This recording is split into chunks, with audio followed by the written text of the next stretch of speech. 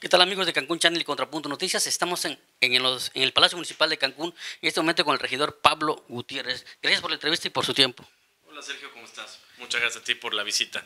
Se, habla, se ha hablado mucho en los últimos días de un, del plan de movilidad que sin duda va a desahogar ese gran problema de tráfico que existe en Cancún. Platíquenos acerca de ello, por favor. Así es, desde que iniciamos esta administración hemos estado trabajando dentro de este plan integral de movilidad, ya que es una de las demandas de la ciudadanía desde muchas administraciones atrás.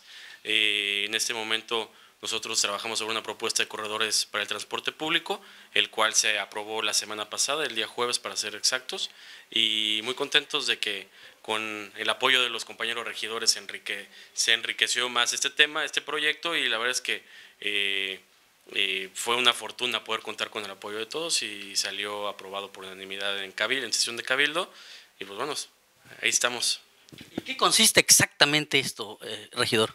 Mira, dentro de los estudios que obtuvimos al ingresar a esta administración, pues nos dimos cuenta que la avenida Tulum, por ejemplo, por darte un ejemplo, tenemos el 88% de las rutas que corren por la avenida Tulum. Eso nos habla de la sobresaturación vehicular y por eso el congestionamiento que tenemos en esta tan importante avenida. Eh, tenemos otro, otro dato importante, el crecimiento del parque vehicular en nuestra ciudad ha sido de los últimos 10 años el 89%, y en nuestras vialidades el 5%. Entonces, esto nos habla de que tenemos que reordenar y reorganizar todas las rutas del transporte público en nuestra ciudad, eh, involucrando a todos los que están hoy participando dentro de este sistema. Eh, entonces, las urbans y combis estarán dentro de un sistema de rutas alimentadoras y, las, y los corredores de- para el transporte público tendrán un carril confinado para el autobús y en estos corredores no podrán transitar eh, transporte público menor a 40 pasajeros, así habrá una disminución en las unidades y habrá mayor fluidez en, en estas importantes avenidas que son esos nueve corredores que se están planeando.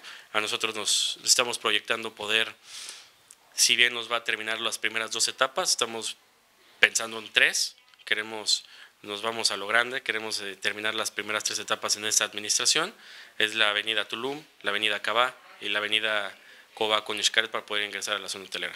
Primero será uno, posteriormente otro y luego al final otro. ¿Y esto, el primero, en cuánto tiempo aproximadamente lo van a echar a andar? Híjole, a mí me encantaría poder decir que a finales de este año podemos iniciar, si no el próximo año, eh, la etapa 1, que sería la avenida Cabá. Es un proyecto bastante ambicioso, se requiere una inversión importante. Eh, la presidenta municipal y la dirección de planeación están haciendo las gestiones necesarias para poder eh, obtener los recursos. Es, es, este, es un proyecto, de, te digo, importante para la ciudad. Esto sin duda beneficiará a todos los benitojuarenses, eh, elevando la calidad de vida, ya que el tras- los tiempos de traslado van a ser, se disminuirán bastante.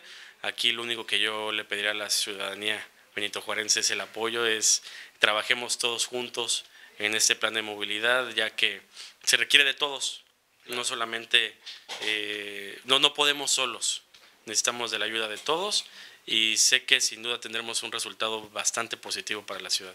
¿Algo más que nos quiera agregar? No, las puertas de la cuarta regiduría están abiertas para todos los que lo requieran, no solamente con temas de desarrollo urbano y transporte, en lo que se requiera aquí estamos, las puertas siempre van a estar abiertas las 24 horas del día, estamos aquí para ustedes. Gracias por su tiempo. Muchas gracias, Sergio. Amigos de Cancún Channel y Contrapunto Noticias, el regidor Pablo Gutiérrez. Nosotros continuamos con la programación.